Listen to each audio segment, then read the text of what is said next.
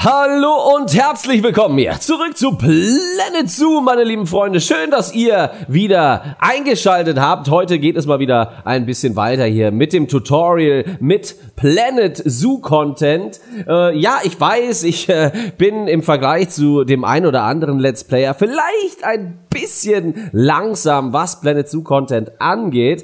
Und ähm, ja, äh, Streamer sind sowieso deutlich schneller unterwegs und haben mehr gezeigt. Aber hey, Ihr seid hier bei Brilli und der hat äh, nicht so viel Zeit.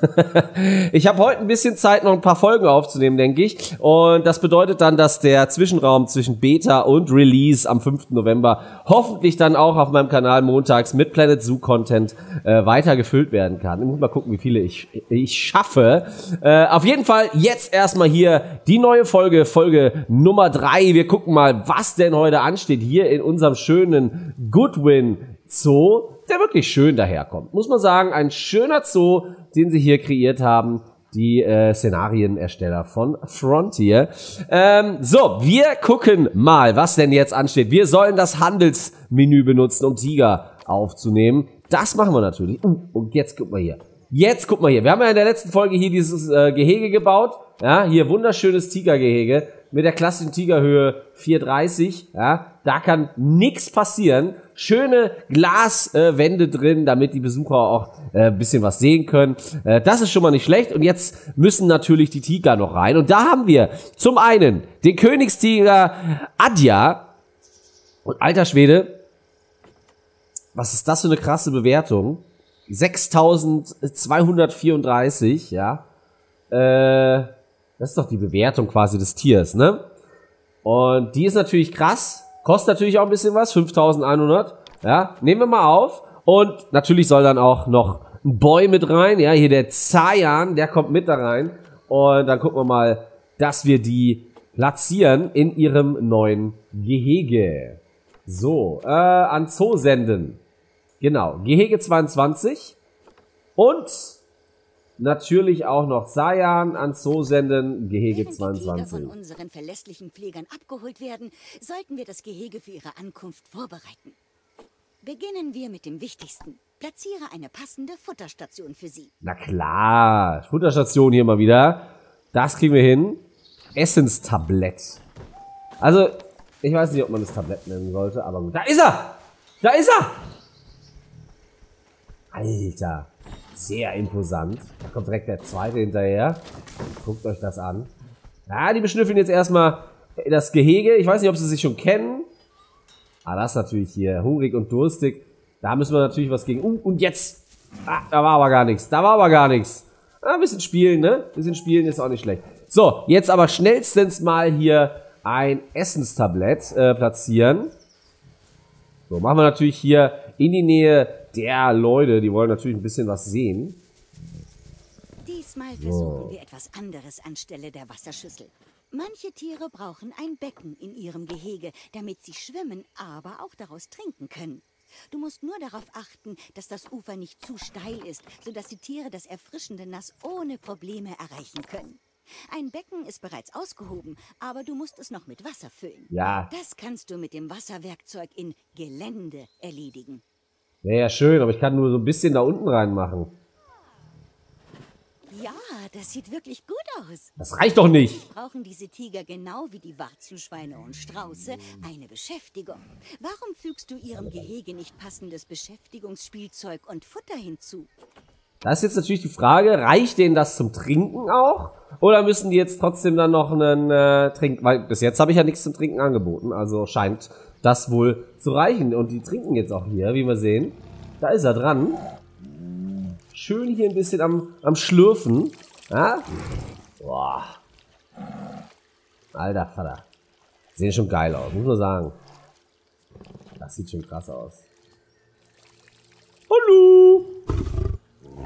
Gefällt dir dein neues Gehege hier? Oh, das äh, ist keine gute Reaktion. Äh, aber äh, wir versuchen jetzt noch mit Spielzeug ein bisschen was rauszuholen.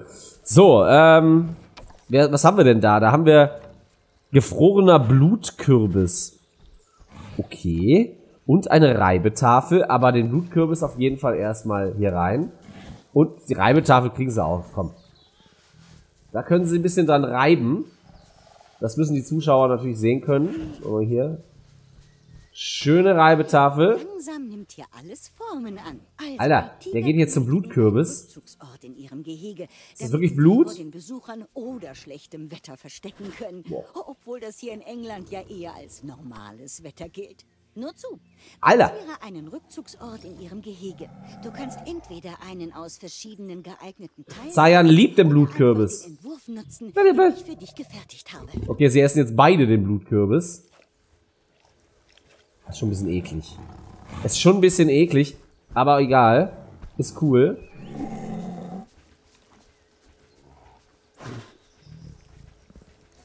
Das ist krass. Und da kann ich den jetzt wieder auffüllen in der Theorie? Vor einer Blutkürbis? Ja, könnte ich. Gut, das ist schon mal nicht schlecht. Das ist gut. So, jetzt wird hier gespeichert offen, offensichtlich. Und die, äh, kannst du mal bitte die Reibetafel hier benutzen? Zayan, benutzt die mal bitte. Ich will das mal sehen, wie du dich da ein bisschen reibst. Komm hier, dich juckt's doch. Aha. Das ist auch geil. Das ist doch geil. Schön mal dran vorbeigerieben da. Ja, aber die brauchen jetzt, äh, wie haben wir gehört, einen Rückzugsort. Äh, wo äh, befindet sich der denn? Jetzt habe ich nicht zugehört, was sie gesagt hat. Unter Gehege. Na da. Ah, ein kleiner Rückzugsort. Kann man die auch selber bauen? Höchstwahrscheinlich, ne? Wo bauen wir den denn mal hin? Ah. Ja, eigentlich die Ecke hier prädestiniert für. Dann ist halt die Wand. Ja. Ja. Ich weiß es nicht. Machen wir ihn hier hin. Machen wir ihn hier hin. Das sieht gut aus. Die armen Kleinen. Du hast bestimmt bemerkt, dass die Tiger ein wenig verstimmt wirken. Das liegt daran, dass sie von dem Gelände in ihrem Gehege nicht allzu begeistert sind. Wähle einen Tiger aus und öffne sein Die Infofenster. brauchen diverse Pflanzen. Aha. Klicke dann auf den Reiter Gelände. Anhand der Geländeinfo kannst du erkennen, wie Tiere zu den verschiedenen Geländetypen stehen. Und du weißt dadurch auch, was ihnen in ihrem Gehege fehlt oder was zu viel ist. Also. Graslang. Also gut, öffne das Weniger. Geländebearbeitungswerkzeug, wähle Malen aus und füge Erde hinzu. Das sollte das Wohlbefinden im Bereich Lebensraum erhöhen. Aber doch nicht so ein riesen Kringel hier. Leute, wollen wir die Kirche im Dorf lassen. So, hier. Bisschen Erde. So, jetzt gucken wir hier nochmal. Ja. Jetzt wird es langsam. Alle Tiere brauchen Pflanzen ihres eigenen Ah. Bioms oder Kontinents. Du weißt schon, Wüsten, Savannen oder Asien, Europa.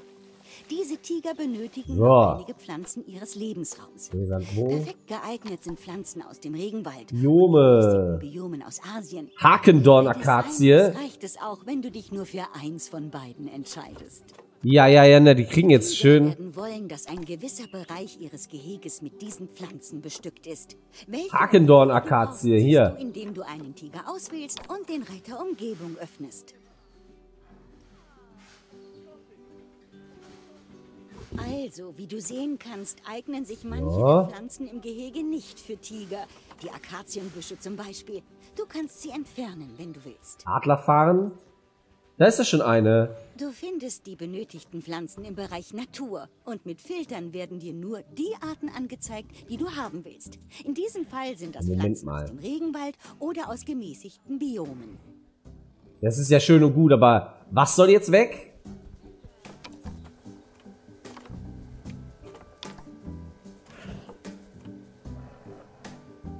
Was heißt denn 6%?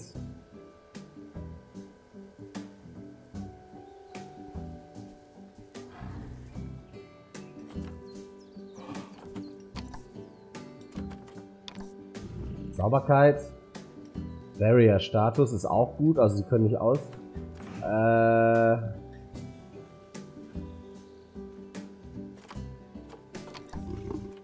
Gras lang. Ich will mal hier so einen Tiger noch anklicken. Also, was ist jetzt los hier? Pflanzen.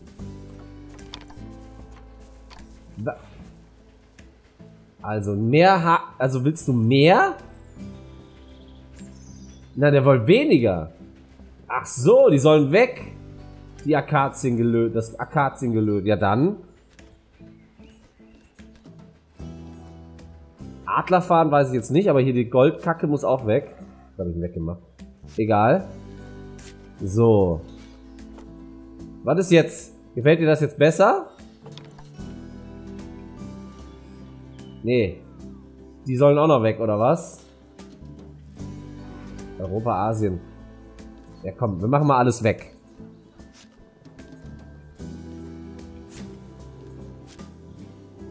So, jetzt ist nix mehr hier. Gar nichts. Leute. So. Asien. Wir brauchen Asien. Tropen. Okay, okay, pass auf. Jetzt müssen wir die hier mal filtern. Äh, unter Biome. Nee, unter Kontinent machen wir mal asiatisch. So. Also. Ein Affenbrotbaum kommt immer gut an. Alter, der ist ja riesengroß. Der bringt den Tigern ja nichts. Machen wir hier mal so einen, so einen gedrungenen. 17%, okay. Äh, dann machen wir hier noch so ein paar Bananen. 1%. Gemäßigt Tropen. Äh, Kokospalme.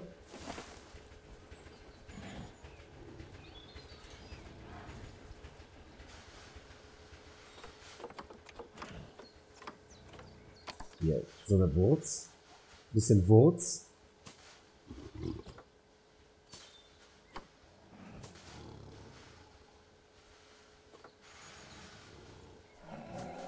Aha, jetzt sind wir mal am richtigen Weg hier. So, jetzt sind wir mal hier am richtigen Weg. Äh, warte mal, ich brauche...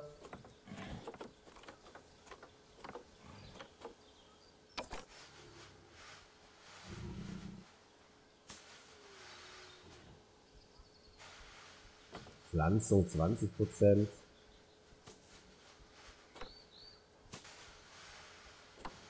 Ich hätte gerne noch so einen Baum. Der war doch auch ganz geil hier. Der hat sogar 17, 16 Prozent. Ich verstehe die Prozentzahlen hier noch nicht so genau.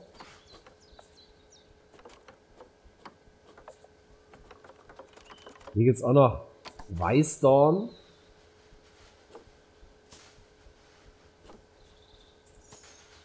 Ja, guck mal, aber jetzt ist doch ganz gut. Was heißt denn jetzt Bepflanzung? Also da muss noch mehr rein, ja? 24 Prozent.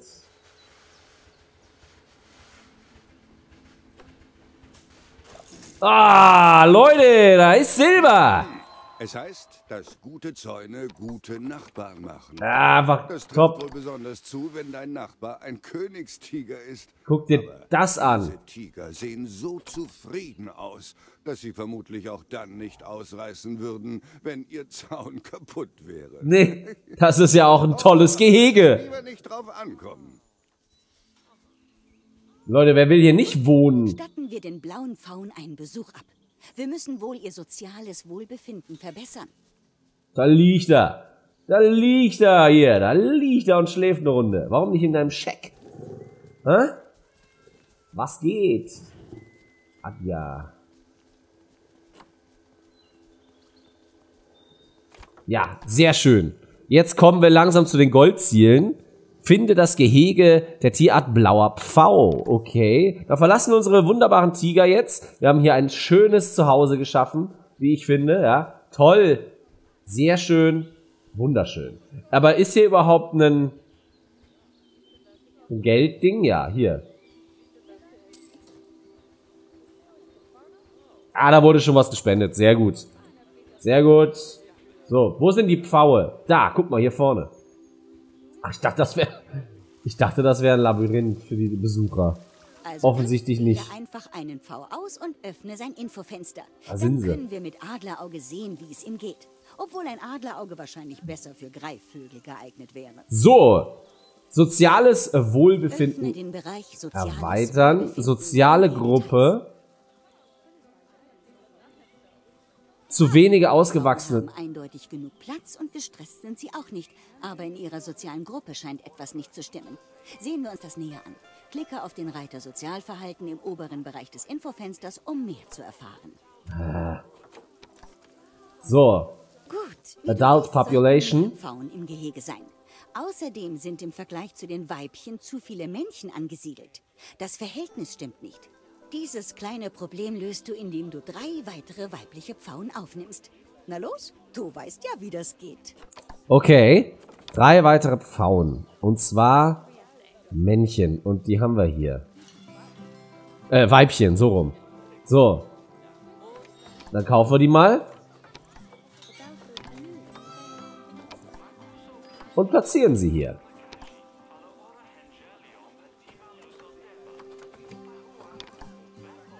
So, Alter, da sind aber schon viele Stellschrauben hier, muss man sagen, oder? Gut. Das hätte ich jetzt Ich vermute, dass sie bald geliefert werden. Aber es klingt leider so, als ob unser Schneeleopardenweibchen etwas mürrisch wäre. Gucken wir doch mal, ob wir ihr helfen können. Das ist krass hier, so ein Faunengehege. Warum haben die denn so ein, so ein... Mögen die gerne sich in Labyrinthen verirren? Man weiß es nicht genau. Aber gut, warum nicht? So. Okay, wir suchen mal den Schneeleoparden, liebe Freunde. Wo ist denn der Schneeleopard? Da hinten. Da, da, da, da, da, da.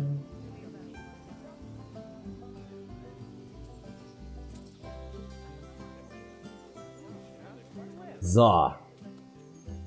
Tiere können genauso wie Menschen Stress empfinden, wenn etwas nicht ganz stimmt. Er? Als würdest du Zeuge sein müssen, wenn jemand Milch vor den Teebeutel in die Tasse gibt. Da ist er doch. Schneeleoparden stresst es, wenn sie nicht genug Privatsphäre haben. Du kannst den Stress verringern, indem du die normalen Glasbarrieren durch Einwegspiegel ersetzt. Das ist nicht billig, aber sie sind die Investition wert. Dadurch haben die Schneeleoparden eine Rückzugsmöglichkeit, wenn sie den neugierigen Blicken unserer Besucher entkommen möchten. Ach, hier. Ja, das ist natürlich asozial hier. Schön in der Bude da auch nochmal reingucken. Das geht natürlich gar nicht. So, äh, dann gucken wir mal. Der Einwegspiegel, Leute.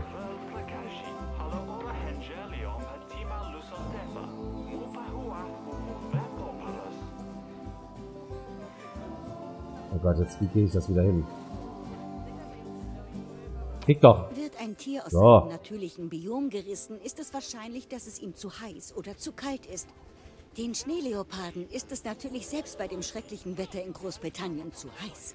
Du solltest das Gehege abkühlen, indem du Klimaanlagen hinzufügst. Aber öffnen wir zuerst die Temperatur-Heatmap und werfen einen Blick auf die Temperatur im Leopardengehege. Ja. Loch, nee. Umgebung, da. Temperatur.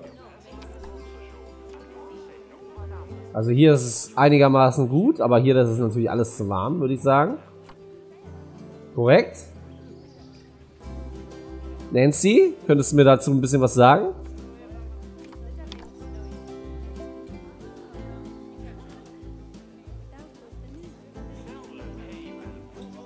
Was heißt denn das hier alles?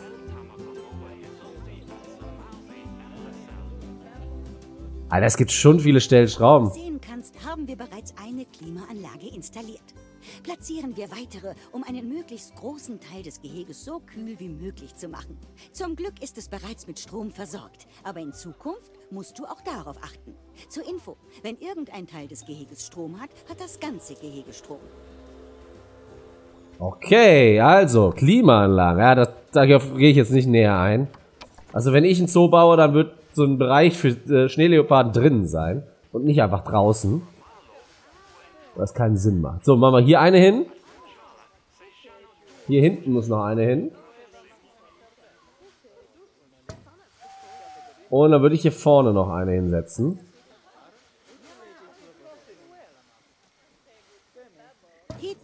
es für allerhand hilfreiche Sachen. Sieh sie dir also unbedingt alle an und nutze sie gut. So, jetzt wird's kälter in deinem... Es dauert ein bisschen, bis sich die Temperatur nach dem Hinzufügen von Klimaanlagen oder Heizungen ändert. Da wir die Klimaanlagen aber jetzt platziert haben, kümmern wir uns um das Geländewohlbefinden der Tiere. Leoparden brauchen Schnee und Felsen. Das kriegen wir hin. Schnee und Felsen?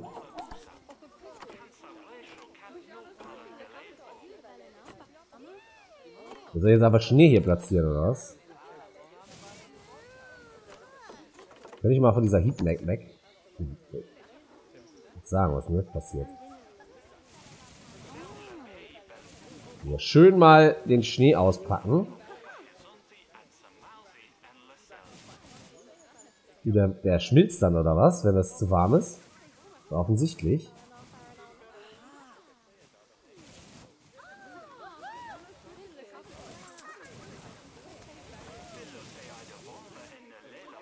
Mal, der schmilzt, wenn es zu warm ist. Das finde ich ganz gut.